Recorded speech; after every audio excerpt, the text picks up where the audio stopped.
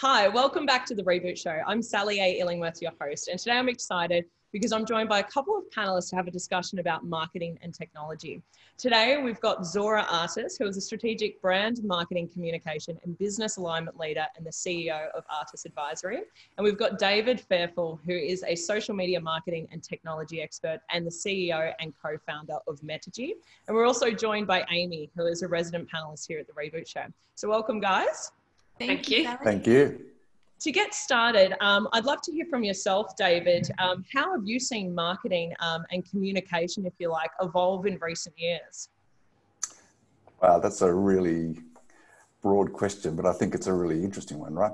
Um, uh, look, if I go back to, you know, even a few years ago, uh, my original background was uh, running digital for McCann Erickson, so it was very advertising centric and, and still very broad in terms of the way we would apply you know, a marketing strategy to digital, digital, and that really evolved quite a lot between the, the period from there to when I was uh, started with um, We Are Social, um, where it became very socially centric and very real time in terms of context and, and very oriented around, you know, connecting with an individual, you know, consumer in a really tangible, logical way and responding one on one and, and that was a real shift between you know broad-based communication down to very one-on-one and dealing with a customer in real time.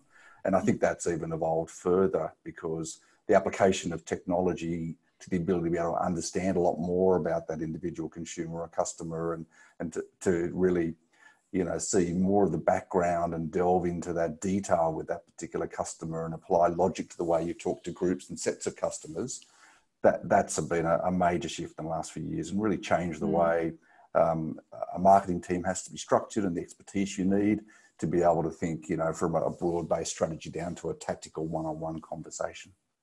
I think you raise a great point because it's it's those capabilities that actually allow the marketing function to become more effective. Um, and maybe from your perspective, um, Zora, in in terms to what David was speaking about, in terms of maybe being able to be a little bit more specific and speak one on one and have a more tactical approach to to marketing and communications.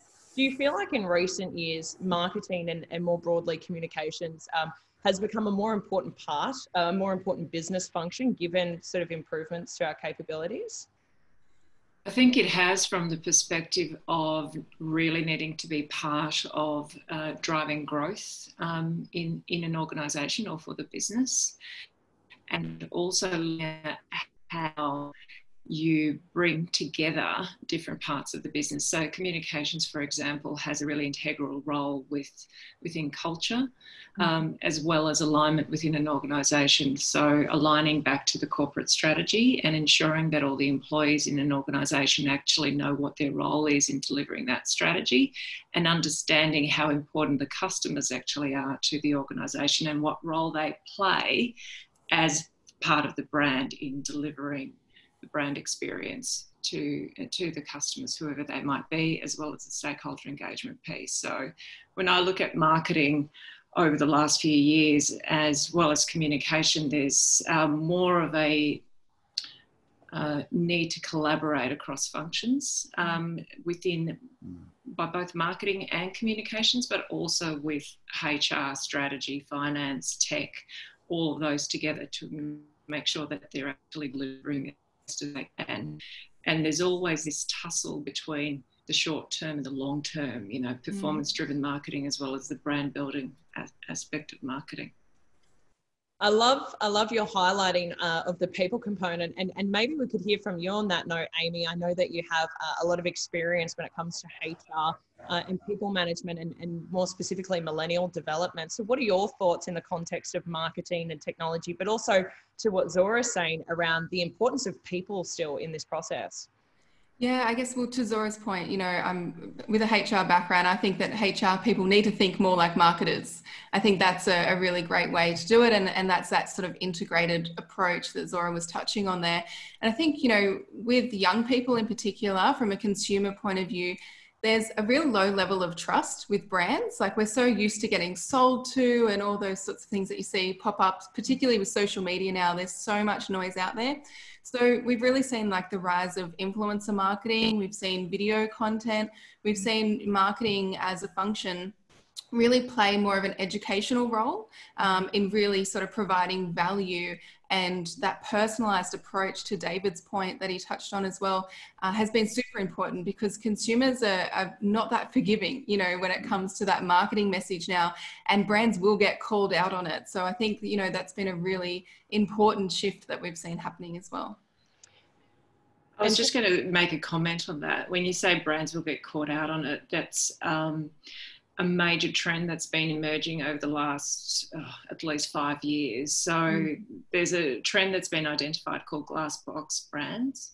Mm. So once upon a time, you know, we used to try and control a brand. Um, yeah. These days, you can't. You can't because you've got this transparency element and you've got incredible connection across the board. So whatever a brand is doing or an organization is doing within the business, if there is some sort of scandal or some sort of issue, or if a brand is not really being true to its purpose, its values, mm. it can be seen from outside. So, customers, st- external stakeholders will make a judgment on that brand based on what's happening internally. An example of that, for example, is um, AMP recently. So, you know, AMP Capital brought in a new CEO who um, a number of years ago had an issue with sexual harassment. The woman that was harassed actually left the organisation. He remained, and he's now the CEO of AMP Capital. Mm. The employees were very peeved by that whole situation. It was all across the, you know, the cover of the AFR um, or the Australian Financial Review. So as a consequence, there, there are some major players in that organisation that actually walked out and left, mm-hmm. and now they're trying to deal with that. So that has a significant impact on the brand. Yeah, I think that's a that's a great example. Um, and you know, I think the one of the key themes that's coming out here is the importance of sentiment, but also how you can't really control sentiment as much as maybe you once could. So, from your perspective, David, um, I know that I'm familiar with, for example, certain sentiment monitoring tools and analytics and whatnot, um, particularly in the public relations space. But in your experience, uh, where have you seen technology sort of transform marketing and communications the most? I think that varies depending on size of organisation. Obviously, if we talk to an enterprise customer, uh, certainly one of the shifts that, that I've seen in, in recent years is is a shift to control the technology rather mm. than you know outsource the the gathering of that intelligence and the, and the, functional feedback into the business. So so a marketing team becoming empowered to really drive and manage that mm. process with, with direct control of the technology, therefore direct insights into you know the experience and integration and interface with the customer. So that that's been a major transition, and what that leads to, I think, is real time decision making, which really leads to you know the logic of maybe a strategy was set and set and followed through with over a period of time, and you could pretty much run a course and measure that historically. Whereas now, I think there's a an overarching logic around strategy, but a whole bunch of micro moments that real time data provide for, for the brand and the team running the brand to be able to really you know deviate or delve into the real opportunities right to, to ride mm. particular conversational trends or particular cycles that Zora mentioned too where something's happening in real time and we've all you know we've all seen fantastic examples of that done really well and some fantastic examples of it done really poorly. Um, and, and so you can't sit and forget anymore. You've got to transition into a, a real-time thinking mode of, of both being responsive and, and more importantly being reactive and opportunistic around the things that really rise that rise to the surface from time to time. And i think you know sentiment as a barometer or brand behavior or brand ethics or brand you know context and storytelling is is the that that's really been changed because it's become far more contextual and personal and far more real time. Yeah, You're I love so your, spot on. Yeah. Yeah, I love your reference to, to context. I'm a huge fan of context and everything being contextually relevant. Um, but Amy, I'd love to hear from you. David raises a really good point around maybe some of the um, the pressures, but also um, improvements and opportunities for, say, people in the marketing function of a business, um, or even just the communications aspect of a business. So, from a leadership standpoint, what are some things that leaders need to really consider when it comes to taking their marketing personnel along on that journey given there is so much disruption to the way that we are marketing. And as David highlighted, no longer can we really afford to put in place a strategy that's set and forget. We need to be more agile. We need to be more adaptive. Um, and as a result, there's a lot more pressure there. Yeah. Interestingly enough, I was reading a report recently by Forrester and it mentioned that actually two thirds of marketing professionals now see that the use and understanding of marketing technology tools is actually a crucial component of their role. So already there's that sense that we need to know this and we need to be using this and adopting this because it's actually going to help us. So I think from a leadership point of view, using the software and not just throwing a technology tool at people, but rather allowing them to see how it's going to help them to make better decisions to david's point you know help them identify the buying journey of their customers and make little tweaks along the way that it's actually going to make their life easier. It's going to make a bigger impact with their customer as well. It's going to make their interactions easier. Um, from a leadership standpoint i think that's a really important thing is to really understand the day-to-day role of those people and how that technology solution is actually going to help them be more creative, create more meaningful moments with their customers along the way too. It'd be great to hear your thoughts as well, Zora, just an extension to that on the strategy piece. So, um, you know, I firmly believe that marketing has very much been sort of democratized, if you like. So there's obviously growing pressure on people in those specialties um, to sort of adapt themselves and, and embrace technology and whatnot. And as David mentioned, um, sort of you know real time um, you know ability uh, to respond to what's happening in a market so what are your thoughts from a strategy development perspective and maybe some approaches to developing strategies in today's marketing landscape well i think what's really important is actually understanding what problem you're trying to solve or what your mm. opportunity actually is in the first place and ascertaining what you want to achieve from the objectives perspective. So, not just in terms of outputs, but also in terms of outcomes and thinking about your customer or um, your particular audience and putting them at the center of what you're doing. So, really mm-hmm. understanding that. Um, the part that I, I really think is important from a strategic perspective is looking at what are what does the what does the insights or what do the insights actually tell us? Um, and sometimes I find that people don't necessarily know how to connect the dots. So it is about, from a strategic perspective, it is about looking at that holistic piece, thinking back to the business problem that you need to solve and what your marketing or communication opportunity is for that specific audience. The initiatives that you have in there, as David said, you do mm. need to be more agile and re-evaluate as you're going so the metrics piece is critical and you need to think about what are the metrics at the beginning of the process what is that going to be it's going to help you evaluate how you're doing along the way what needs to change what you need to adapt and don't be afraid to kill off the darlings if you need to yeah because sometimes people invest so much time and they own something and they just can't can't get rid of it. Mm. And if it's not working, it's not working. And you just have to accept that and move on. So I used to run agencies as well, and I had digital teams, um, you know, very much into that agile space. And you, you can't have, you don't have perfect information all the time. You can't wait for that.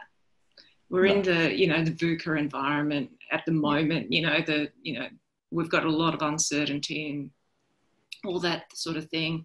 I'm currently in the middle of responding to COVID with with the government here on with in the health and human services area, so strategic communications. Every day something changes. You need to twist, turn, adapt. You don't have everything on hand. The people need to be able to think differently, think on their feet, and be really resilient and mm. have capability across a whole range of different things. It's just incredible how people can come together if you give them the right space and their training and you trust them to do their work. Yeah, I love the reference to trust. And I think, particularly during the COVID period, we've seen sort of an an elevate a sort transformation in terms of what it means to actually trust your teams, uh, you know, in an organisation environment. So, um, David, I'd love to hear from you just in terms of this, you know, approach to marketing with continuous improvement, um, continuous adaptation, um, and sort of reevaluation of what your strategies are um, and what your tactics are, what's working, what's not working. Um, and thanks to technology, we have a lot of capabilities to do yeah. that quite quickly and easily. Um, I'm a, a, huge fan of artificial intelligence and machine learning, um, and I know that everyone's probably well aware that um, they're becoming increasing sort of aspects of you know technology stacks, if you like, for different solutions. So, what are your thoughts on the role of um, artificial intelligence and/or machine learning specifically um, in the context of marketing and supporting that role from a, a real-time perspective? Yeah, well, I mean, that's obviously a topic fairly dear to my heart, given what we're doing. So, for those who don't know, Metigy is uh, it's an SME targeted solution, but we use AI and machine learning to really, you know, deliver the strategy component, if you like, the, the solution that SMEs can't afford through a traditional agency model. But most importantly, it's about empowering, you know, a market or even an inexperienced or non-specialist marketer to really shift from that, that traditional challenge of marketing of coming up with a strategy and then you know, deploying and then historically reviewing to the logic of being able to optimize in real time. And I think that's the real shift or the application for AI, right?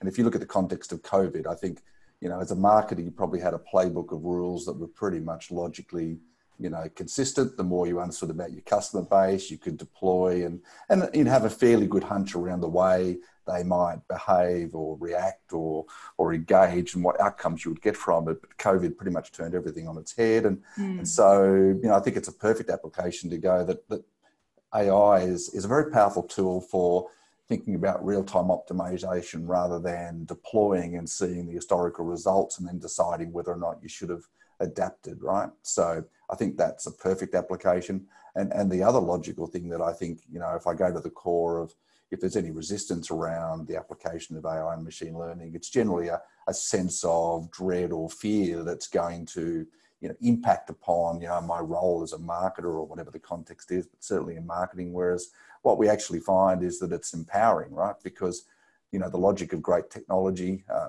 regardless of what the experience from a sci-fi perspective is, it's yeah. very much around taking away the, the mundane or boring parts of many roles and let's be honest, I love data, but even I hate looking at reams of data. I'd rather get to the inside or get to the real, you know, the opportunity for how do I improve or or adapt my original thought and deploy something that's going to be more effective. And I think yeah. it does that incredibly well.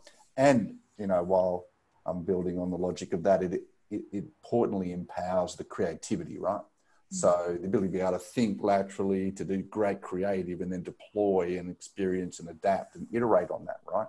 So a great idea becomes really powerful because data helps us get to the core of what was working and how do we tweak it and improve it as we go. So. Yeah.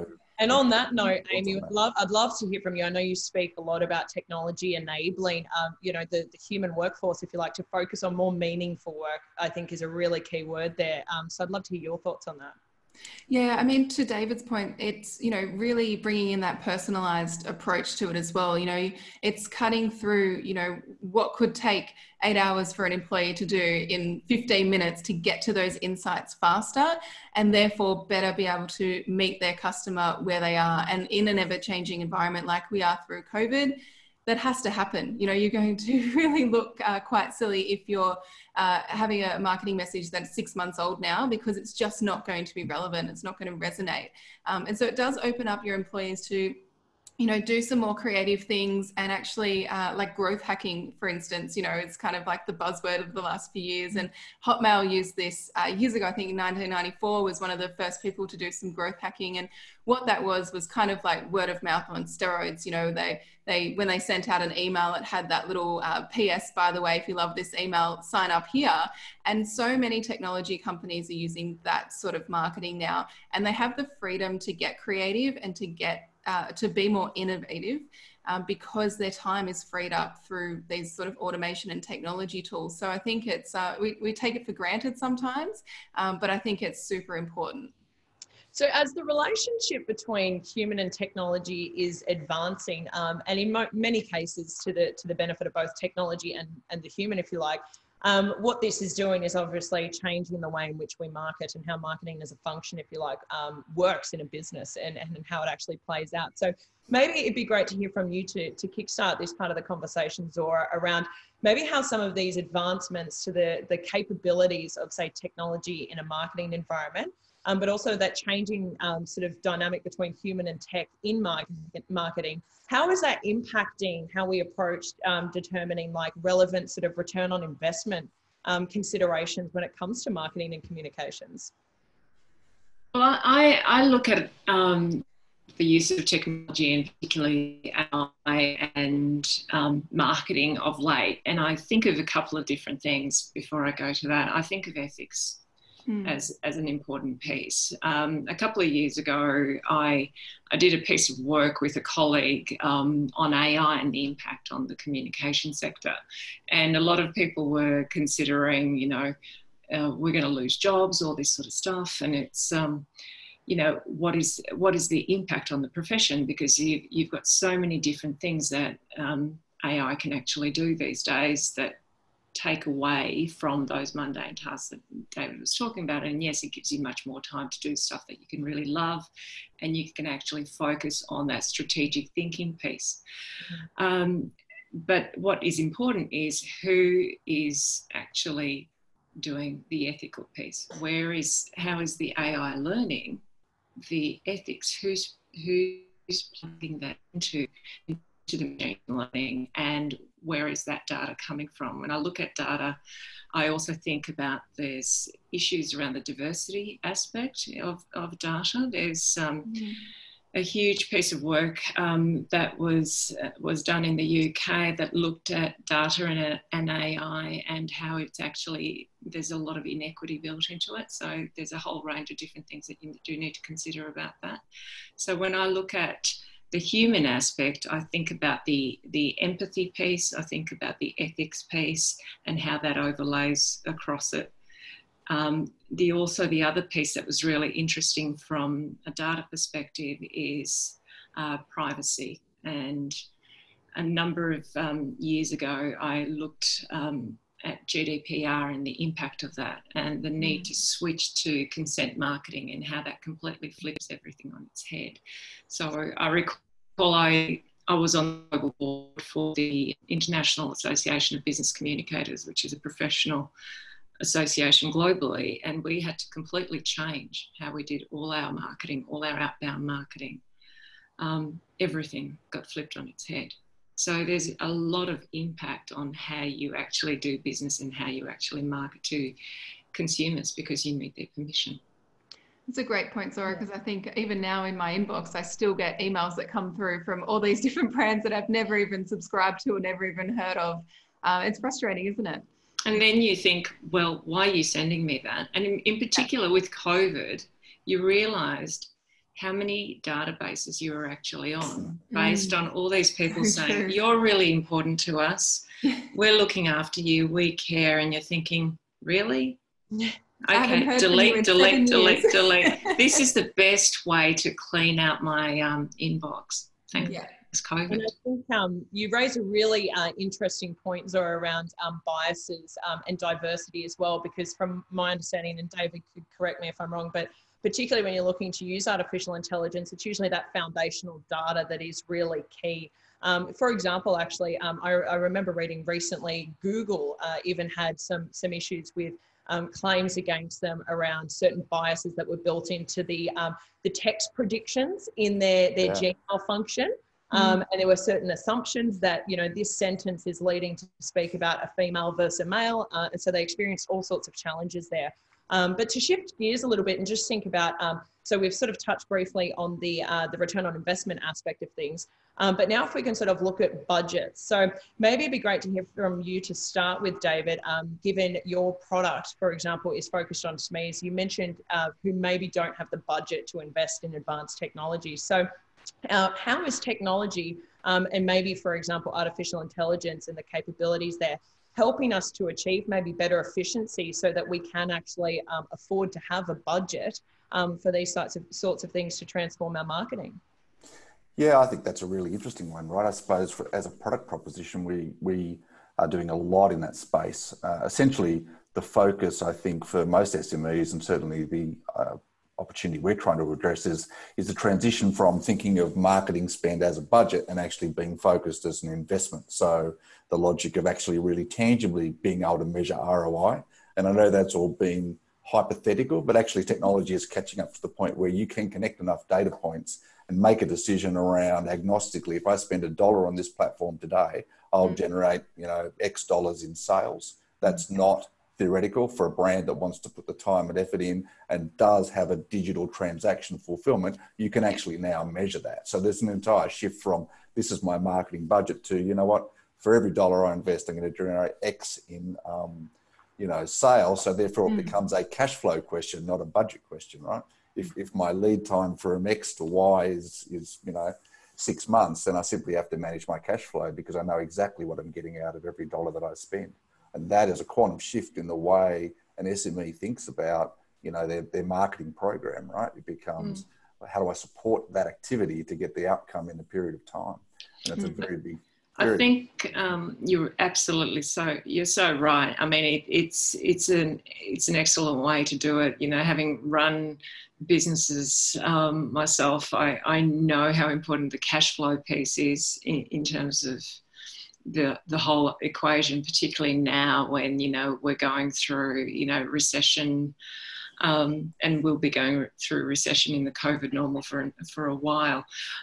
One of the things that I think is really important when it comes to people and capability, uh, whether you're in marketing or communications, is is strong business acumen and mm. actually understanding how to speak the language of business, and that does mean numbers and not being afraid of numbers and understanding how it all fits how it fits together. So when you are talking about what you were saying, David, in terms of the bottom line, you actually understand how it how it all connects up, um, and that is really important. If you're going to go out and, and invest in technology as a marketer, and you know it's going to achieve X, Y, Z for you, and you need to put a business case together, you need to know how to do that and that's a really important piece and sometimes i see a huge gap in that space mm. yeah, yeah, totally I, would like to add one really relevant thing to what you were saying before zora because i think that touches on it right the boardroom conversation five years ago was pretty much led generally by sales sales as a driver mm. and then finance as a supporter to all of the planning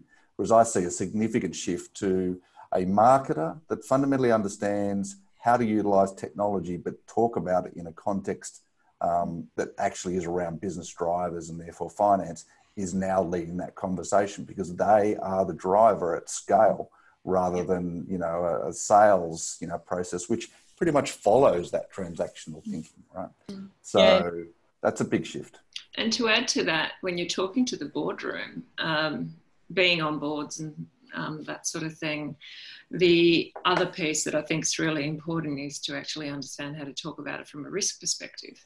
Mm. So, you know, there is an opportunity cost. So, risk isn't always negative, it can be positive if you know how to reframe it.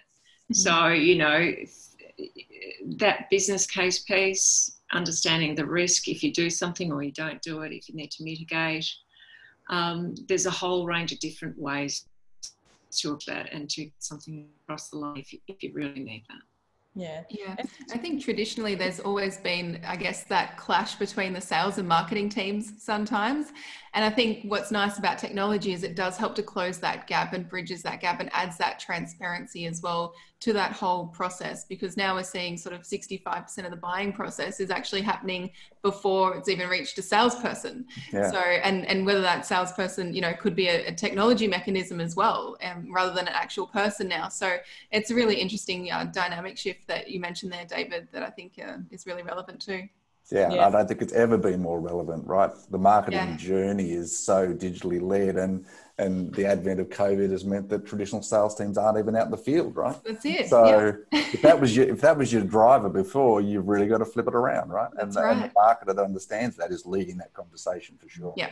So on that note, can we? Um, we're actually taking this in a really good direction here because my next question was going to be, and maybe start with yourself, Amy, around you know, as we are becoming more digital, um, and I also want to mention that I love the point that you guys have highlighted that marketing can no longer be classified as just traditionally fluffy, because mm-hmm. I know in the marketing space we've always been um, sort of victim to that. But to, to shift gears and focus on the customer for a moment, Amy. So you mentioned around um, the, the customer buying journey, if you like, and how that's changed. So uh, we focused a lot on the conversation around how technology is equipping the marketer, if you like, uh, with more precision and more insights.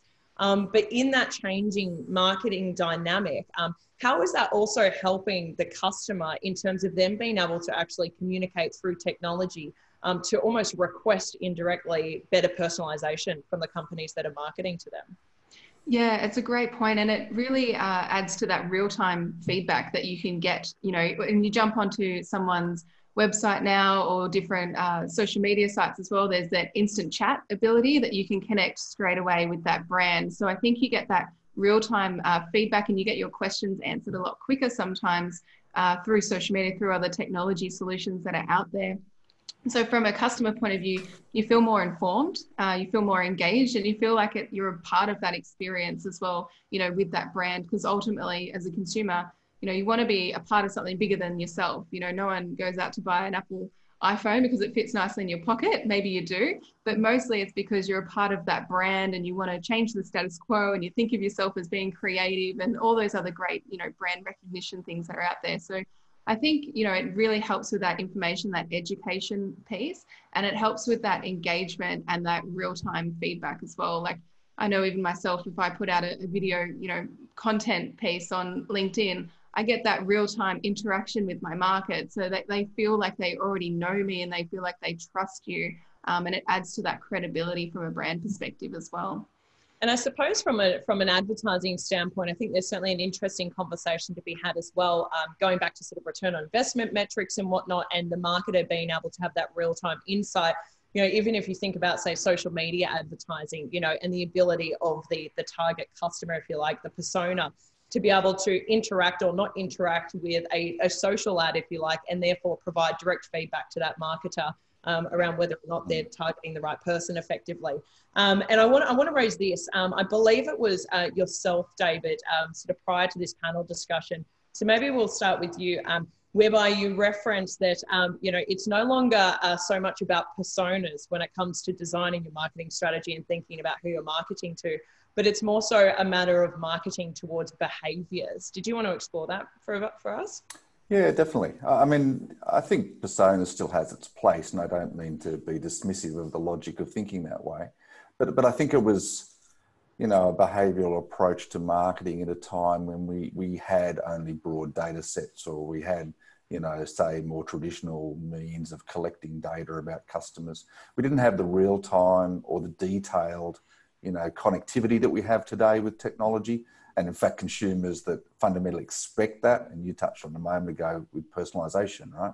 At the end of the day if i share data with a brand i'm actually now comfortable with that. I may have been mm. reluctant a few years years ago to do that but i'll do it now on the basis that i expect a better outcome from it and there's an onus on the brand to in fact deliver a better more personalized experience and heaven help them if they don't do that because that's the incumbent requirement for doing that but I think at that point, we, we no longer want to be categorized as, you know, I'm a 25 year old male in marketing, right? Because I, my relationship with the brand is diverse. I, uh, you know, think about the way I engage with them differently on different channels, and I mm. expect you to react and, and respond to that. Because, and even time of day, I might be working with a brand in a particular context during the course of the day as part of my job, and my behavior as a consumer at night is completely different again. So, it's no longer acceptable to think about you know personas as the appropriate categorization when we have so much more depth to the information we have about a specific customer we should we need, we need to be able to respond and react to that appropriately right and I love the distinction between, say, my maybe professional uh, persona versus my personal persona because, you know, I very much appreciate and have learned that, you know, even in different uh, social media channel platform environments for mm. example you know you as an individual when you're on linkedin for example you may be in one mindset from a social media marketing standpoint and what you're receptive to versus when you're on a facebook or an instagram so you actually expect different things in those environments because you almost wear different hats on each platform Um, I'm mindful of time, um, so maybe to sort of start progressing towards um, wrapping this up, I'd love to hear from each of you. We might start with you, Zora, around what you think the what does the future of communications look like, especially with technology in the picture. Oh look, I think it, I think you need to be really aware not to necessarily jump on the next shiny bright new thing. Mm. Uh, which uh, sometimes happens, and um, I think it's it's uh, the future is much more about um, being empathetic, really understanding your customer, and as David says, you know, it's important to actually understand that journey and the personalisation aspect of it as much as you can. Um, being really clear on your i go back to the problem solving piece and that could be because i'm a strategist. So you know that's naturally part of my dna you know looking to solve problems. Um, but really understanding how you align back to that, that corporate um, strategy overall and how you're going to be able to contribute to the uh, to the growth of the business mm. um, or help the business innovate help the business um, change as it needs to help the business adapt as it needs to through looking at what's happening outside your space where can you actually get inspiration uh, for uh, new innovations, potentially looking at trends and what can you do and bring that back into the business. So be curious, um, yeah. and really look for new ways of doing things. Don't don't sit on your laurels. Mm-hmm. You you need to be constantly learning. Lifelong learning is a passion of mine, so I think it's really important to keep doing that as you go. I love that. Um, and to as we're sort of working to wrap up, we might shift gears um, a little bit with you, Amy, in closing um, from your perspective um, around more so what does the future of marketing look like for the marketer from, from a human resource standpoint? Yeah, I think it, uh, Zora said, you know, that lifelong learning piece is huge. And I think that's for, you know, people um, in those roles as well, because the landscape is going to continually shift. So uh, get used to it because it's not going away. Um, and so I think you do need to be, you know, really passionate about what you do and put the customer at the center. I think all too often it can be about numbers and growth and hitting your KPIs and all those sorts of things, which are super important. But at the end of the day, there needs to be that empathy, that authenticity, um, and that impact with the customer because they do expect it now and their expectations are only going to increase as well over time. And for you, David, in closing, I'd love to hear your thoughts on the future of marketing um, from the perspective of technology. And what are you excited about? Yeah, I suppose we spent a lot of time thinking about that particular topic, right? So I think at the end of the day, technology is moving at pace in every industry, right? But marketing is there seems to be no throttles on it at the moment. It's it's a key driver of business, and that's why there's significant investment in it. Um, I think from a individual market perspective, it is about embracing the fact that technology is now part of your core function Mm-hmm. And once upon a time, marketing perhaps relied on the technology component in the business to support that. Whereas I think now marketers are driving that technology discussion because they are the interface with the customer and the logic and strategy that they deploy is going to change that customer engagement and hence drive the business. And, and technology really is, you know, trying to work at pace to fill in those key, you know, requirements around ROI, you know, real-time thinking, you know, and tactically, how do we leverage human creativity? And that's really where there's a lot of money and effort being spent to support those three key objectives. I love that. And I think that's a really strong note to close on in terms of leveraging um, human creativity. I think technology very much makes us fearful that the human will be made redundant. Um, but um, with specifically artificial intelligence is very much an extension of human intelligence. So Thank you very much to all of you today, Zora, David, and Amy. Um, and I'm sure our audience have enjoyed this discussion as well. Please do make sure that you subscribe to the Reboot Show YouTube channel, and we'll see you on the next segment. Thanks, guys. Thank you. Thank you. Thank you.